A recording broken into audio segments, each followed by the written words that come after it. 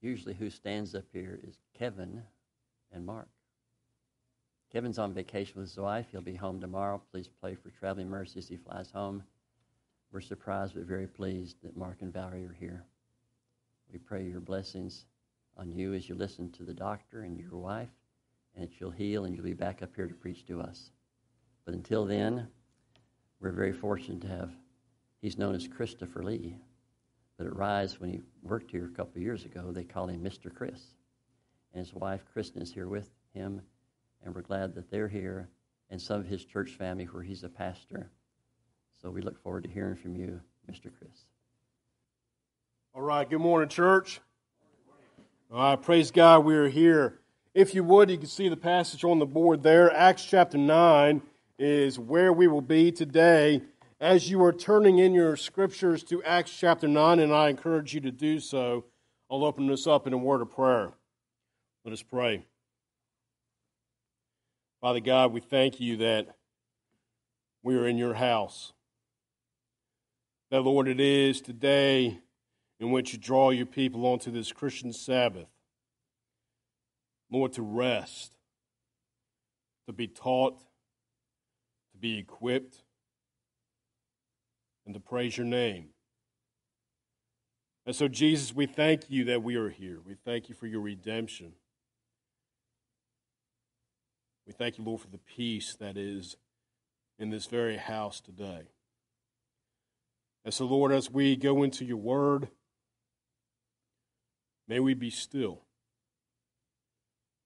Lord, we, we will heal over your word today, but we also must go back into the prayer closet to reflect upon that word, to meditate upon it, and to allow it to pierce our hearts where our hearts need to be pierced, and then to go back to you with praise. And so, Jesus, we praise you, and it's in your name. Amen. So, I've been preaching, and I'm going to talk to you for a minute as I pull up my stuff here. I've been preaching uh, to Walltown Baptist Church uh, through the books of Acts. So you may be wondering, um, why did you choose Acts 9? Uh, the reason being is this is where I fell uh, with uh, Walltown Baptist. And it's actually a beautiful passage to which we'll be able to uh, go into. So as you have turned to Acts chapter 9, let us bring our attention to verses 1 through 19. This is again the word of God. And Saul, yet breathing out threatenings and slaughter against the disciples of the Lord, went on to the high priest and desired of him letters of Damascus to the synagogues, that if he found any of this way, whether they were men or women, he might bring them bound in, unto Jerusalem. And as he journeyed, he came near Damascus. And suddenly there shined about him a light from heaven. And he fell to the earth and heard a voice saying unto him, Saul, Saul, why persecute thou me? And he said, Who art thou, Lord? And the Lord said, I am Jesus, whom thou persecute. It is hard for thee to kick against the pricks. And he trembled and astonished said the Lord, What wilt thou have me to do? And the Lord said to him, Arise and go into the city, and it shall be told thee what thou must do. And the man journeyed with him and stood speechless, hearing a voice but seeing no man. And Saul arose from the earth, and as when his eyes were open, he saw no man. But they led him by hand and brought him into Damascus. And he was three days without sight, and neither did eat nor drink. And there was a certain disciple at Damascus named Ananias. And to him said the Lord in a vision, Ananias, and he said, Behold, I am here, Lord. And the Lord said unto him, Arise, and go into the street which is called Straight, and inquire of Judas for one called Saul of Tarsus, for behold, he prayeth, and hath seen in a vision a man named Ananias coming in, and putting his hand on him, that he might receive his sight. Then Ananias answered, Lord, I have heard by many of this man how much evil he hath done to the saints of Jerusalem. And here he hath authority from the chief priest to bind all that call on thy name. But the Lord said unto him, Go thy way for he is a chosen vessel unto me, to bear my name before the Gentiles and kings, and the children of Israel. For I will show him how great things he must suffer for my name's sake. And Ananias went his way, and he entered the house, and putting his hands on him, he said, and, and really listen to this, it's beautiful. Brother Saul, Lord, even Jesus that appeared unto thee in thy way as thou comest hath sent me, and thou mightest receive thy sight and be filled with the Holy Ghost. And immediately there fell from his eyes as it had been scales, and he received sight forthwith, and arose and was baptized. And when he had received meat, he was strengthened. And then was Saul certain days with the disciples which were at Damascus. This is the word of God for you, the people of God. Thanks be to God indeed. Today we will examine the conversion of Saul. And we want to ask this, this question, these three questions here. Why conversion needs to take place, what true conversion is, and living out that conversion. Before we do so, we need to understand a little bit about Saul. Perhaps many of you in this church today know the story. Well, Saul became Paul. Saul was just a, a bad dude living a bad way, and all of a sudden Jesus encountered. Well, it's a little bit deeper than that. And perhaps you're sitting here today, such as our children in the back, that may have never heard about Saul. And maybe you're sitting here a little bit older and never heard about Saul. So I want to give us a little bit of a background of who Saul is. So, Saul, yes, we know him as a religious leader, taught by the Pharisees, a Pharisee himself, very knowledgeable. Saul's upbringing was in the Jewish religion from the line of Benjamin. So there were 12 tribes, and, and Saul being a part of this line. So Saul has a great understanding of the law of God. He was taught the law of God from a young age.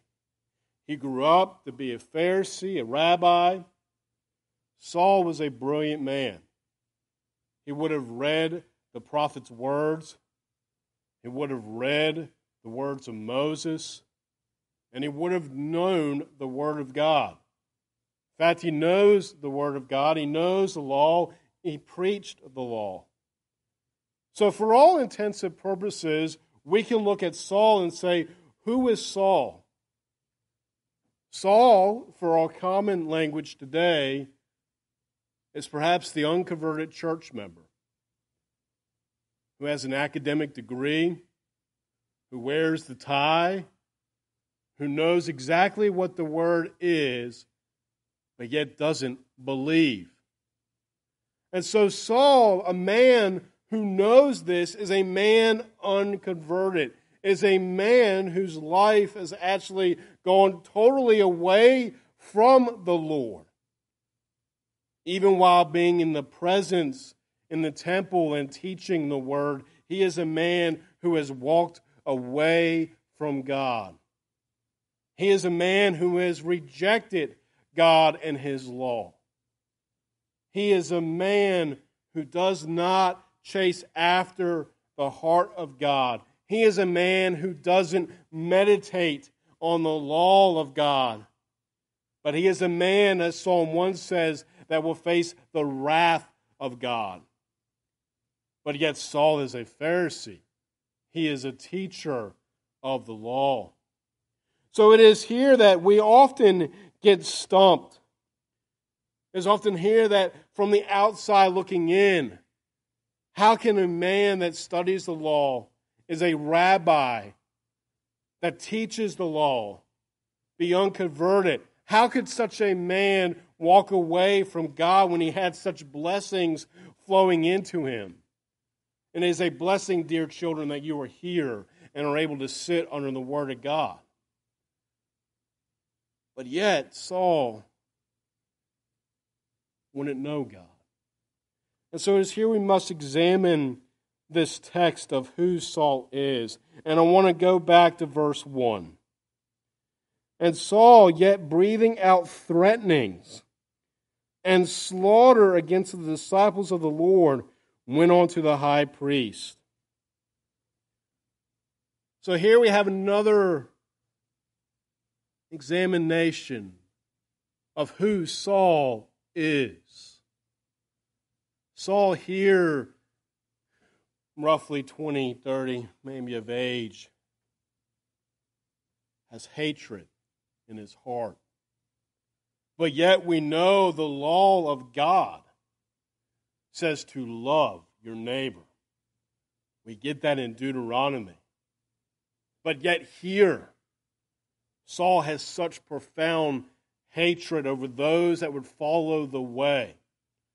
And we hear the word the way, so let me break this down. It means Christian, those who are following Christ. And so Paul would go, Saul, sorry, Saul would go to the high priest, and Saul would ask, Let me bind up those who follow thy way. Let me bring them on to Jerusalem. And so going back just a couple chapters back, here's what Saul, at least from a bystander perspective, did. He may not have thrown the rock, he may not have given the authority to say, Go throw the rock, but at least in minimum, he was at the scene, being a witness onto it, and then later doing these very acts himself. We go to the first deacon of the church, Stephen, who was martyred, who was stoned to death.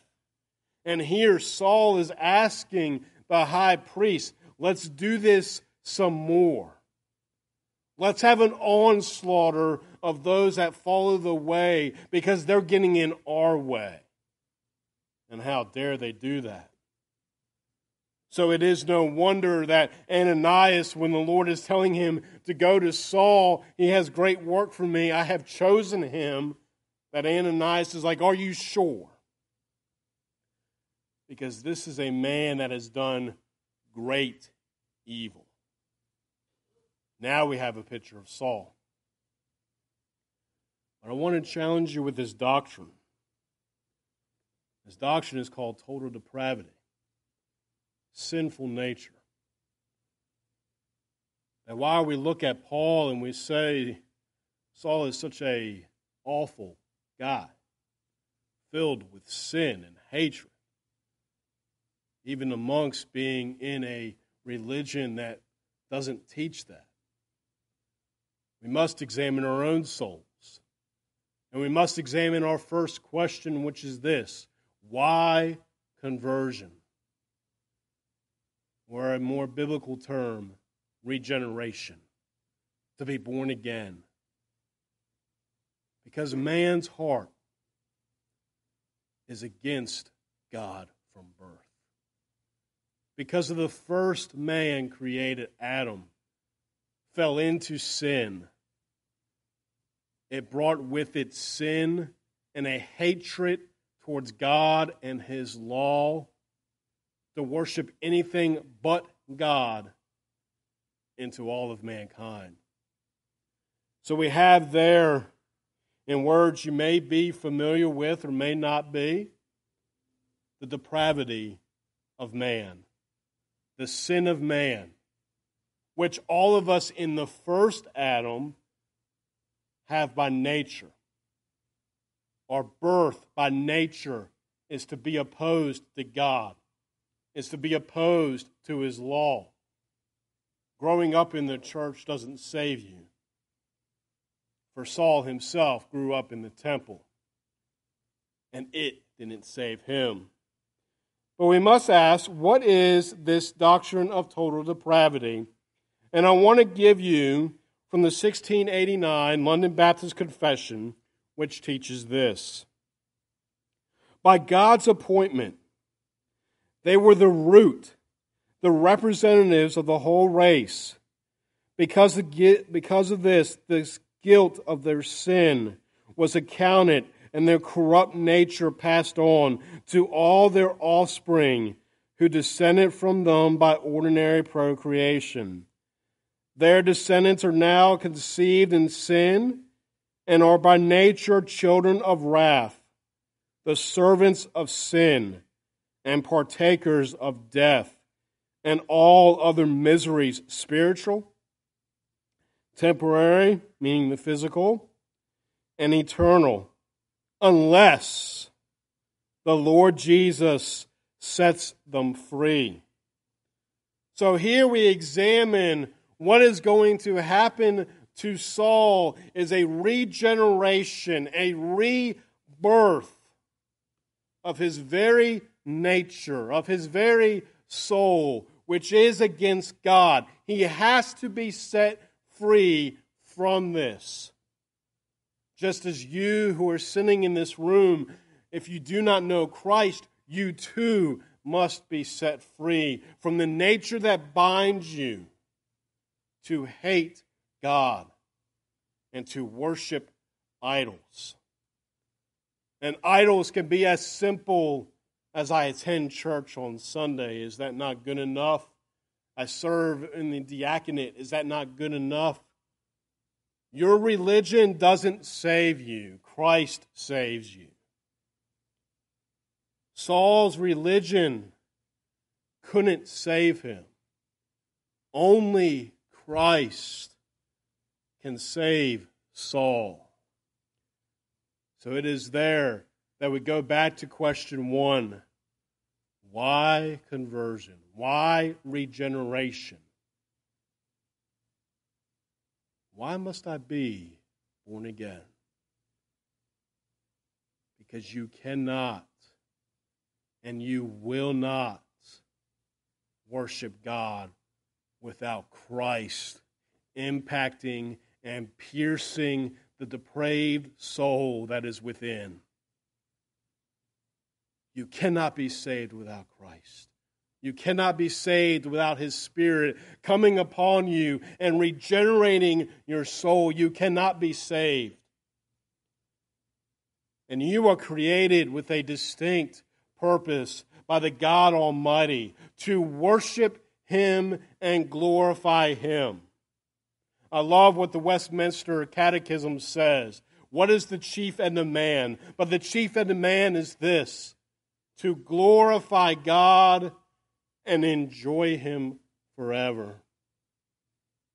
And if you are depraved, if you are an enemy of God, you cannot live out that which you were created for. Because the first Adam brought sin into the nature of man. But in the second Adam, Christ, man is made new.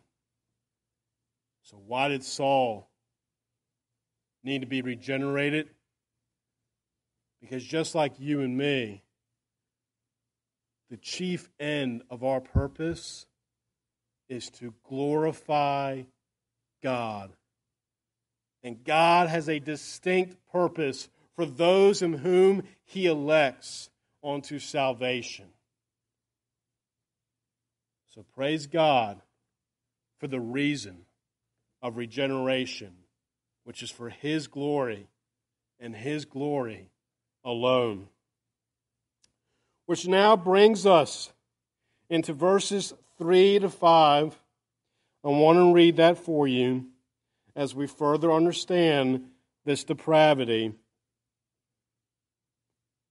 and he journeyed and he came near Damascus, and suddenly there shined round him a light from heaven, and he fell to the earth and heard a voice saying unto him, Saul, Saul, why persecute thou me? And he said, Who art thou, Lord? And the Lord said, I am Jesus, whom thou persecutest. It is hard for thee to kick against the pricks. And we may look at depravity and we may look at Saul and we may say, well, didn't he do a little bit of good? At least he was teaching. At least he was an upright citizen. At least he wore his tie the proper way. At least his shirt was tucked in. At least he's not a hooligan running around. I want to bring you to this illustration, which is not mine. It's actually an illustration by Ray Pritchard. And he says this If he was to invite you, or if I was to invite you over to my house for breakfast, and I am not, I love you, but I am not, I can't feed all of you. But if I were, and I had six eggs in the fridge, and I was going to make an omelet out of those six eggs, and I have the green onions cut up, I have the bacon and the and the good Gouda cheese, you know, high end. I'm not going to feed you this quality stuff high end stuff, but all of a sudden you start to smell something rotten in the air. And I'm plating your food at this time, and you would say, Pastor, what is that awful smell? Oh, I just had one bad egg in the ad, in the in the pack there. It was just rotten, but it's okay. You would never accept that food.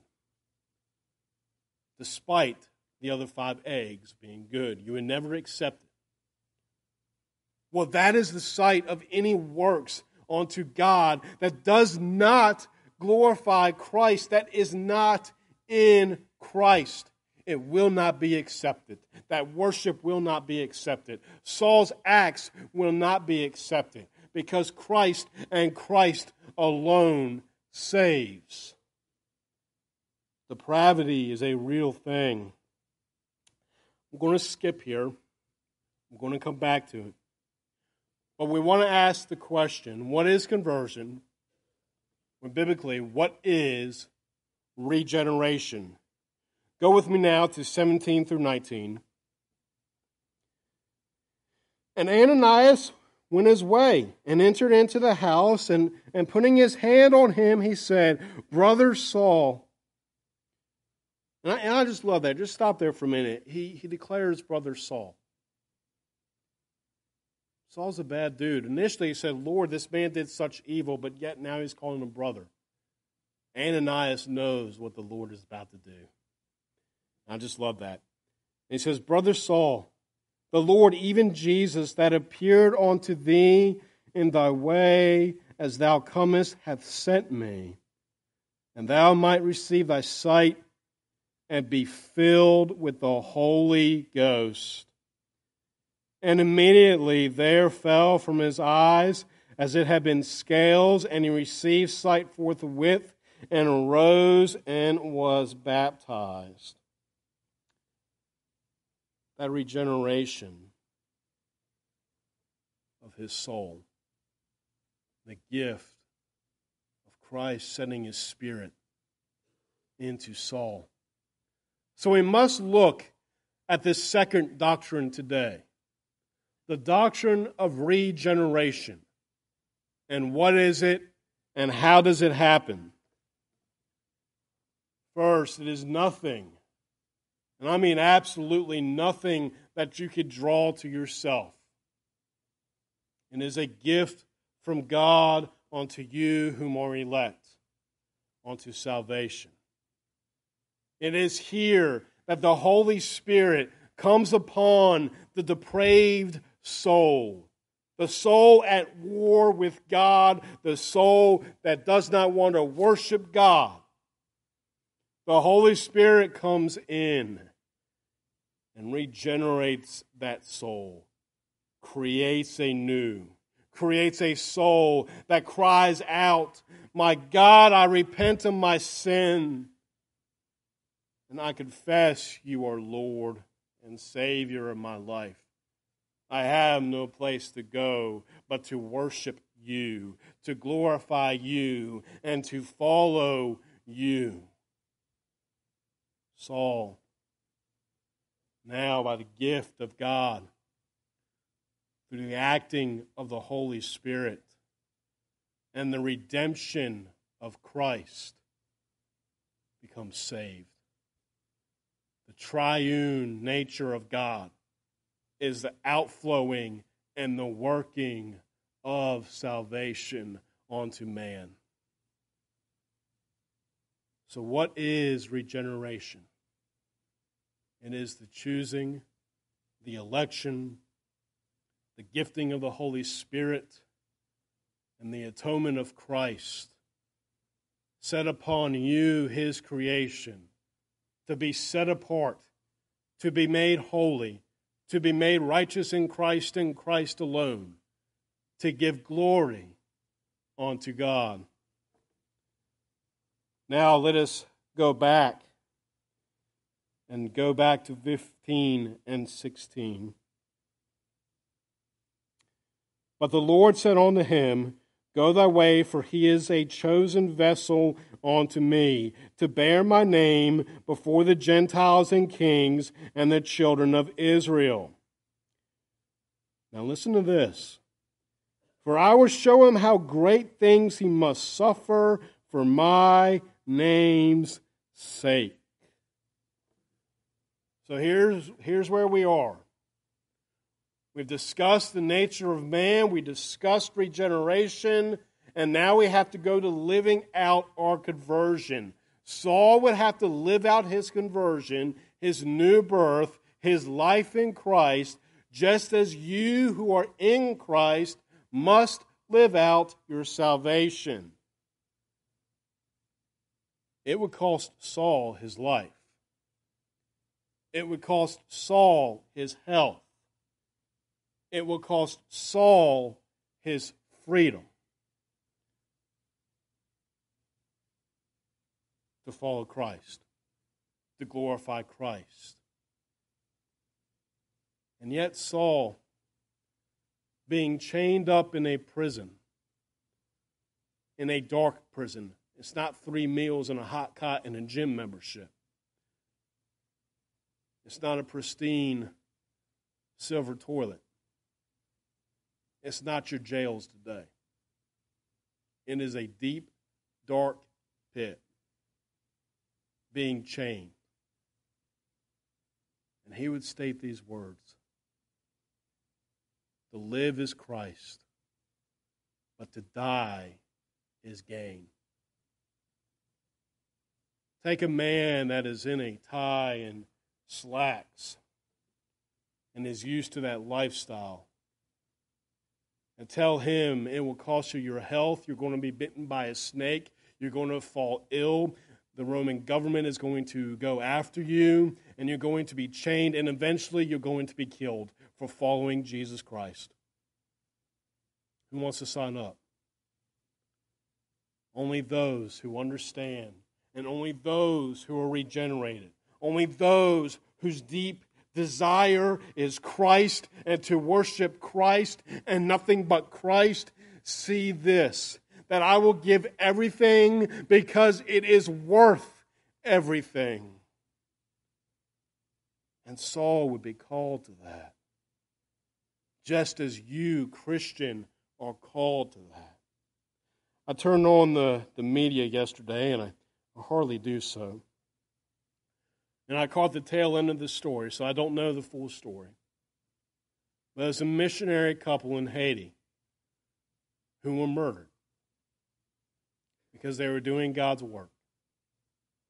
Haiti is not a tropical island where, where we're, you know, drinking mojitos and having a good time. It's a hard island. It's a hard nation filled with pagan rituals. And here they are serving Christ, and here they would give their life, leaving behind families. But, friends, that is the life of a Christian. Jesus taught this. He said, You will follow me. But what he didn't say was, If you follow me, I will give you riches. I will give you a white picket fence. I will give you a fancy church. I will let you be comfortable in an AC building, which thank you, Mark, for turning on the AC. But he did say this He said, I will give you a cross, and you will bear it for my name's sake, for my glory, and my glory alone. Christianity is not about you. You being saved is not about you. It's about Christ. It's about glorifying Christ. It's about being a pure bride. It's about entering into glory to worship Christ and Christ alone. It's always about Christ. And it may cost you everything, but it's worth everything. And Saul would have to do that. So, what does this mean for you today? If you are of the religious, do not trust your religion. Just because you spent eight decades in a church doesn't mean you spent eight decades knowing Christ. You need to get with God, and you need to get right. If you have become the Paul, and your Saul days are over, so you are now following Christ, it does mean he may call you to take up your cross. He will call you to sacrifice the idols that still remain. Because until the trumpets call or until we meet the Lord through death, we wrestle with the flesh. So you will have to carry a cross. There is no prosperity gospel, there is no social gospel. There is the taking up the cross to give everything to Christ because he is worth everything. That is the call of a Christian life. And to the kids in the room, my deepest prayer, some of them just walked out, so I got one in the room, two in the room. Praise God. My deepest prayer, children, is that you would know Christ. Listen to your parents receive him, and follow him. Your life, Christian, is to glorify Christ and Christ alone. It is to live out the ways that Saul, who became Paul, would. And it is to say, with all conviction of heart, to live is Christ and to die is gain. Let Christ be your gaze. And if he is not, I pray for the moment you go blind so that you can see. Let us pray.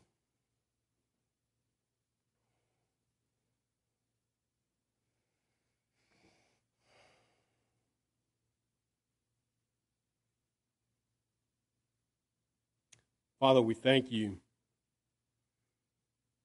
for your mercies and your grace. And indeed, you sent Christ to redeem your chosen. And so, Christ, we ask you, whatever sin remains in us, May you destroy it violently so that we may honor and glorify you and be the bride in which you have called us to be. And Spirit of God, for those not in Christ, regenerate the soul.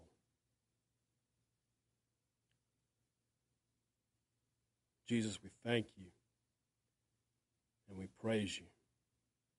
Amen.